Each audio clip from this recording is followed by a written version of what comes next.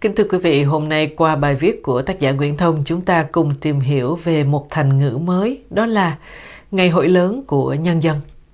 Suốt thời gian dài qua, bộ máy tuyên truyền hùng hậu của nhà nước tập trung hết cỡ vào việc tô màu cho bức tranh bầu cử được tổ chức vào ngày 23 tháng 5. Mở mỗi tờ báo là thấy bài tin ảnh về bầu cử. Bật tivi lên là thấy nào đọc rồi hát rồi hình ảnh phóng sự về bầu cử. Rảo ra phố thì đập ngay vào mắt là cờ phướng là băng rôn khẩu hiệu đỏ rực về bầu cử. Xe loa phóng thanh suốt từ sáng tới tối ra rã kêu gọi mọi người đi bầu cử. Nhiều gia đình trong bữa cơm cũng bàn chuyện bầu ai bỏ ai, bỏ thế nào, ai nhận phần đi bỏ hộ cho cả nhà. Các nhà mạng điện thoại thì chả biết có phải thực hiện theo chỉ đạo hay không, mà khách hàng mỗi ngày đều nhận được cái tin nhắn là sáng suốt lựa chọn. Nhiều nhà chức việc lên TV này, họp báo này trả lời phỏng vấn về bầu cử, khen các ứng cử viên rồi chê các thế lực thù địch. Mạng xã hội cũng chả có kém cạnh gì, chìm ngập trong thông tin bầu cử. Nói chung, cả xã hội đang phát cuồng bởi bầu cử. Điều chung nhất dễ nhận thấy là bộ máy tuyên truyền mậu dịch đồ sộ kia gọi cuộc bầu cử là ngày hội của toàn dân, là ngày hội lớn của nhân dân. Cái cách gọi này thực ra không có mới bởi vì lâu lắm rồi những người cộng sản lúc nào cũng hô to cách mạng là ngày hội lớn của quần chúng nhân dân. Bầu cử chọn ra nhà cai trị cũng là một dạng cách mạng mà nên nó được xem là ngày hội mà ngày hội lớn bởi chu kỳ 5 năm mới diễn ra một lần. Đã nói đến hội là ta nghĩ ngay đến hai yếu tố, đó là vui và đông. Hội là phải vui, hội liêm, hội gióng, hội chùa thầy, hội xuống đồng, vân vân. Trời ơi, vui nổ trời. Chả có hội nào mà buồn bã mà ủ rũ cả đâu. Đời đã vốn lắm nỗi buồn, đi hội mà lại rước thêm cái sự đưa đám rầu rĩ nữa thì chi bằng ở nhà, phải không thưa quý vị?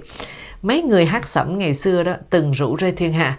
Anh em ơi, hội chùa thầy đương lúc đua chen, hệ ai nhanh chân thì tới, chứ ương hèn thì xa. Và hội thì bao giờ cũng đông mà. Vài ba đứa trẻ trâu rủ nhau ra bãi đánh khăn đánh đáo chả thế nào mà tạo nên hội. Đông như kiến cỏ. Kiến và cỏ luôn luôn được dùng để so sánh cho cái sự đông đúc. À, đông như quân nguyên, đông như hội mới là hội chứ. Người Cộng sản à, họ rất là khôn ngoan khi cái gì họ cũng dựa vào dân, núp bóng dân. Có thể họ chưa có sự hiểu đời như cụ ức trai Nguyễn Trãi khi xưa rằng Phúc chu thủy tín, dân do thủy, lật thuyền mới biết dân là nước. Tải chu phúc chu giả, dân giả, chở thuyền cũng như lật thuyền đều là sức dân vậy. Nhưng họ họ ở đây là người cộng sản đó, họ thừa biết rằng những gì họ có được đều là do dân cả. Vậy nên chỗ nào cũng dăng cái câu khẩu hiệu của dân vì dân, do dân. Tờ báo chính thống của họ được đặt tên là tờ báo nhân dân. Dân là cái thứ bình phong rất là chắc chắn. Có chuyện vui rằng để làm vui lòng dân á, người thẳng thắn thì gọi là mỹ dân á thì để cho dân chúng thấy chỗ nào cũng được quyền làm chủ, họ đặt tên sự vật theo nguyên tắc ABC cộng với hai từ nhân dân. Ví dụ nhé, Viện Kiểm sát Nhân dân, Tòa án Nhân dân, Hiệu sách Nhân dân, Công xã Nhân dân, Nghệ sĩ Nhân dân, Nhà giáo Nhân dân, Ủy ban Nhân dân, Hội đồng Nhân dân, Quân đội Nhân dân, rồi Công an Nhân dân, rồi Cảnh sát Nhân dân chỉ giữ lại mỗi một phần riêng nhỏ xíu khiêm tốn thôi, đó là kho bạc nhà nước, cục thuế nhà nước. Thì văn học dân gian nói thế, nhưng mà nghe cũng có lý phải không các bác? Cách mạng, theo cái nghĩa phổ biến nhất của từ này, là một cuộc thay đổi, thay cái cũ, cái xấu, cái lạc hậu lỗi thời bằng một cái mới, cái tốt, cái hiện đại, văn minh, tân tiến.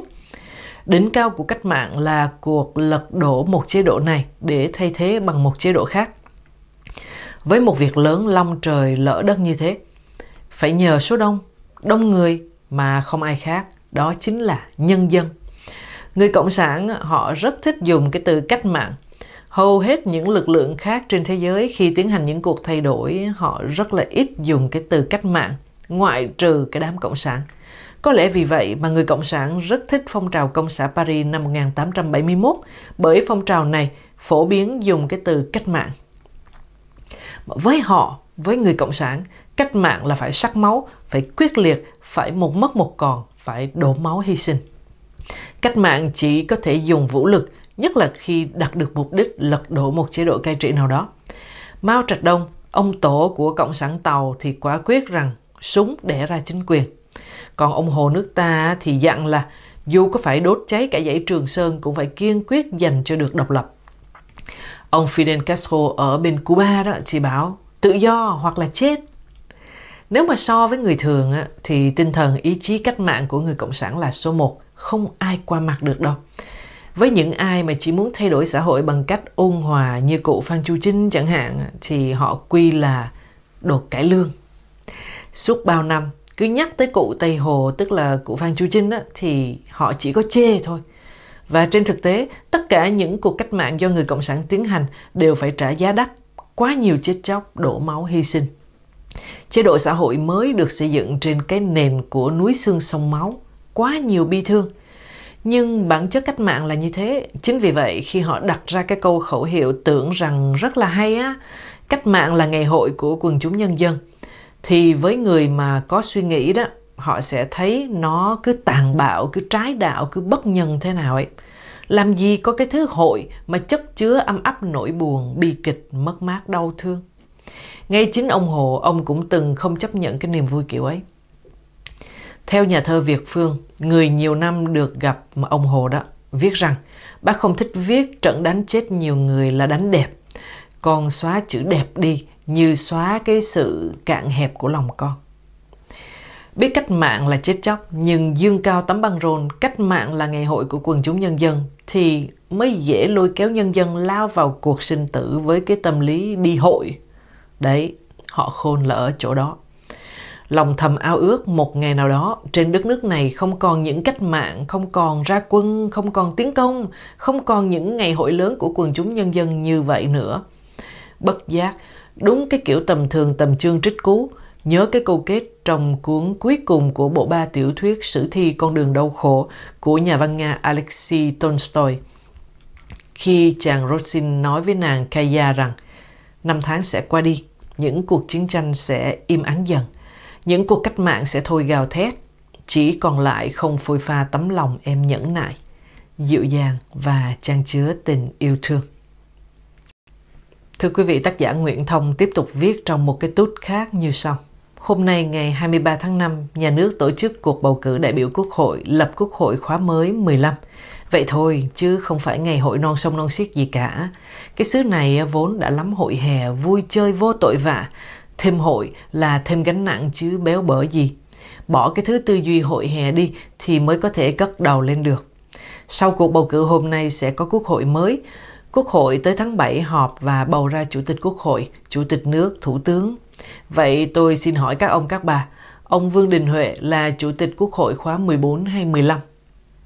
Trần đời tôi mới thấy chỉ trong vòng mấy tháng một ông làm chủ tịch hai khóa quốc hội.